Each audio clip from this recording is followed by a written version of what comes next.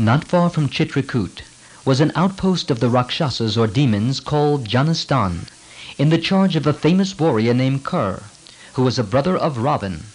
And from this station fierce Rakshasas ranged the forest round, molesting the sages in their isolated ashrams. They made life so insecure that the ascetics abandoned their hermitages in the Chitrakoot region, in spite of all that Ram could do to dissuade them. After Bharat's departure, Ram was not quite happy in Chitrakoot. The face of his beloved brother, tearful with disappointment, and the sad drooping form of his widowed mother were ever before his mind's eye. And now that the going away of the sages had deprived him of their companionship, the lonely hut was so full of sad memories that he made up his mind to seek some other resting place in the Dandak forest. So they left Chitrakoot and proceeded to the hermitage of sage Atri, who knew the country to seek his advice as to where they might establish themselves.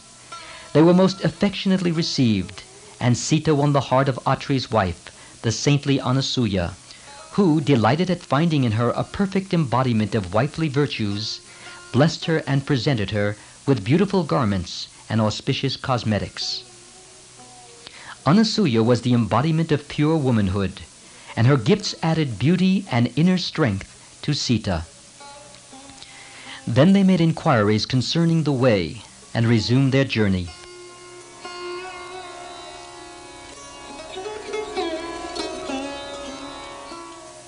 Walking through the great Dandak forest, Ram, Sita, and Lakshman reached a spot where many rishis or sages lived. Even as they approached the place, they saw the sacrificial materials, bark garments, and deerskins spread out to dry, and they knew it was a colony of holy men. The place was beautiful to look at. Birds and animals moved about with the freedom from fear, born of affectionate familiarity with their human neighbors. Ripe fruits hung from the trees. The beautiful sound of Vedic chanting was heard. As they came near, they saw the radiant faces of the rishis who welcomed Ram. O king, you are our protector, they said. Whether we are in the town or in the forest, you are our king. And they gave the newcomers all they needed and a place in which to rest. The following morning the three took leave of the sages and re-entered the forest which was now denser than before, and there were tigers and other wild animals there. So they proceeded slowly and cautiously. Suddenly, a gigantic form, distorted like a broken fragment of a hill, rushed at them, making a blood-curdling noise. It was a man-eating Rakshasa, and his roar was like thunder. He was indescribably ugly, and the tiger skin he wore was covered with blood, while pieces of flesh of the slaughtered beast were still sticking to it. The corpses of three lions and the head of an elephant recently slain were impaled and strung in a row on the great spear which he shook menacingly at them. The Rakshasa lifted his weapon, roared horribly, and springing forward lifted Sita. And as he held her, he shouted at the princes, Who are you, little fellows? How dare you enter this forest? You look young but wear matted hair and bark garments. You have disguised yourself as ascetics, yet you carry bows and arrows and go about with this woman by your side. Whom are you trying to cheat? Are you not ashamed of yourselves? You are besmirching the good name of the rishis by your conduct, you hypocrites. Know that I am Virad himself. The flesh of rishis is my daily food. I shall have this lovely damsel for my wife. Do you understand? I shall now drink your blood, you villain. Held in his grasp, Sita trembled with fear. Lakshman, hissing like an angry snake, said, Ram, look at what my bow and arrow can do.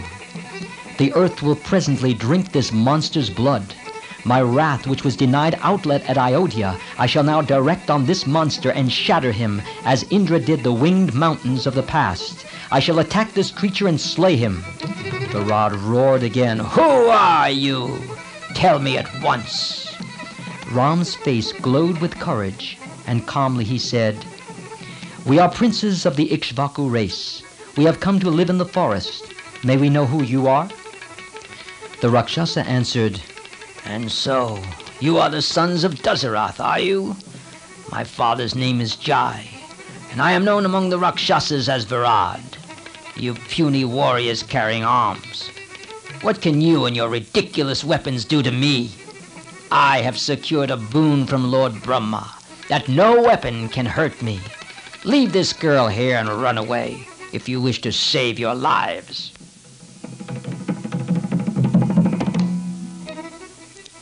Ram's eyes grew red with anger. It is time for you to go to the Lord of Death, he said, and bent his bow and shot a sharp arrow at the monster. It pierced his body and emerged red with blood, glistening like fire, and fell on the earth beyond. But the Rakshasa was not killed. Enraged by the pain, he placed Sita on the ground, and lifting his spear and opening his mouth wide, rushed towards Ram and Lakshman. The princes sent a shower of arrows at him. The arrows stuck so thick on his body that he bristled all over like a gigantic porcupine. The Rakshasa, however, laughed and shook his limbs, and down fell all the darts. He straightened himself and lifted his spear again. Ram and Lakshman, with two arrows, broke the spear and rushed at him sword in hand. But he lifted them both up with his hands and put them on his shoulders and strode off into the forest. Sita saw them disappear in the darkness of the jungle and wept aloud. Ram and Lakshman, seated one on each shoulder, knowing that weapons could not kill him, wrenched off his arms and threw them down. Then they attacked him with their hands and feet. Still, they could not kill him on account of Lord Brahma's boon. But the agony of his wounds was so great that he howled. Unfortunately for him, he had asked for immunity from slaughter, but not from pain. The brothers threw down the exhausted monster, and Ram planted his in his neck to prevent him from rising. The touch of Ram's feet cleared the mist and curse he had incurred in a previous birth had shrouded his understanding. And in the sudden light of recollection, he joined his hands and said humbly, Your feet have touched me, Lord, and my eyes are open. I have realized who you are. I am under a curse, but you can save me. I'm not a Rakshasa by birth, but a Gandharva, a celestial musician. The boon I secured prevents my going to heaven. If you could somehow kill me, I shall recover my former celestial form and go there. Accordingly, Ram and Lakshman smashed him without weapons and buried him in a pit they dug in the earth. And the Rakshasa returned to the world of the Gandharvas.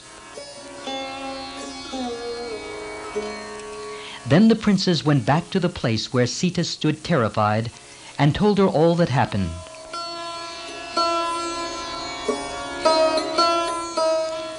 They proceeded to the ashram of Sharabanga. Indra was there with the other gods talking to the rishi. Knowing that Ram had arrived, he cut short his talk and went away.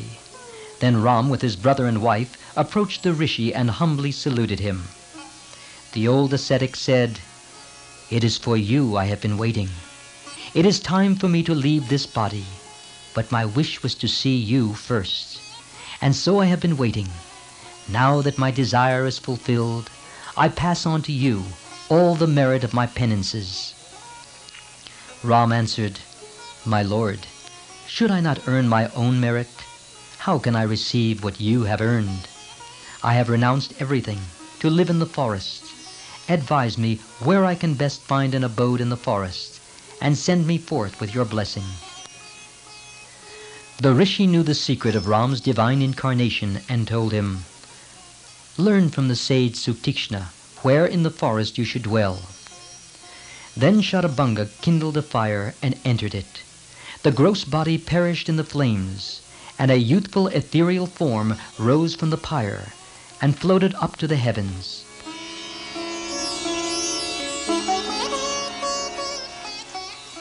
When the rishis of that forest heard the news of Virad's death, they came to Ram and surrounded him. It is our good fortune, O king, they said, that you have come to dwell in this region. Hereafter we shall perform our penance, untroubled by Rakshasas. Look at those bones scattered all around. They are the remains of ascetics, killed and eaten by the Rakshasas. The sages on the banks of the Pampa and Mandakini rivers live in constant fear of their lives from these man-eating monsters. The king's duty, from which he may not fail without sin, is to protect his subjects. Just as householders pay taxes, a share of the merit of our penances goes to the king's benefit. You are radiant like Indra, king of the gods. Protect us from this persecution of the Rakshasas. You are our only refuge. Ram answered, I am bound, O great ones, to obey your command. I gave up kingship and came to the forest in obedience to my father's wish. If in discharging my duty as a son I can also serve you and do some good, I shall count myself twice blessed. I shall stay in the forest and destroy the Rakshasas and free you from trouble. So shed your fear.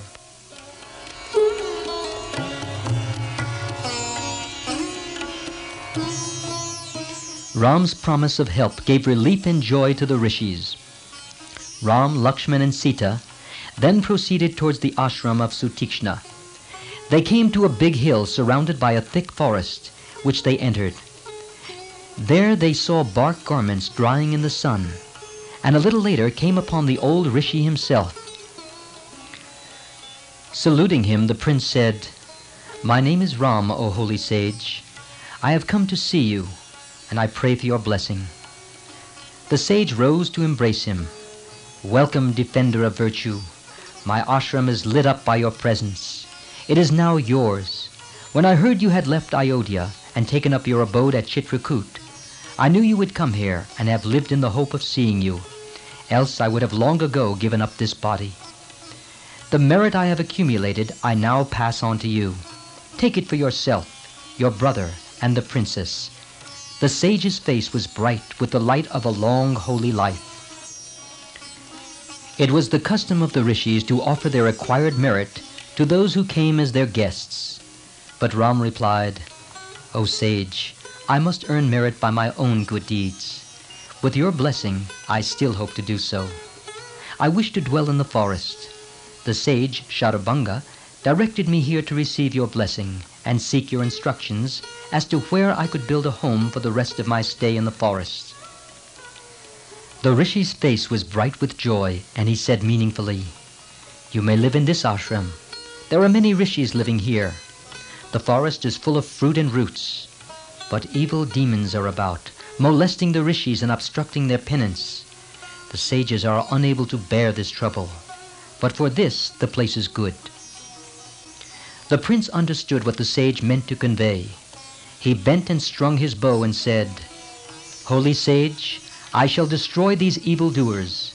My bow is strong, and sharp are my arrows. It is not proper that we should dwell in this ashram. It may interrupt your penance. We shall find a place for ourselves in the neighborhood. Permit us to do so.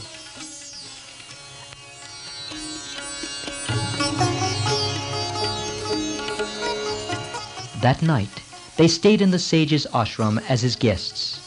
The following morning, the three got up and bathed in the cool water fragrant with flowers, lit the sacrificial fire, performed their worship, and touched the feet of the sage. By your grace, we spent a good night. We desire to see the other rishis in the region and receive their blessings too. It is good to set out before the sun grows hot. Please give us leave to go. The sage embraced the princes and blessed them, saying, Visit the good rishis in the Dandak forest. They have all gone through great austerities and obtained divine powers. The forest is indeed beautiful with deer and birds and lotus-filled tanks, and the hills with cascades and peacocks. Lakshman, go now with your brother and with Sita. Come to this ashram whenever you feel like. The three walked round the sage according to custom and took leave of him. Sita handed to them their swords, bows, and quivers, and the princes set out, more radiant than before, because of the great sage's blessings.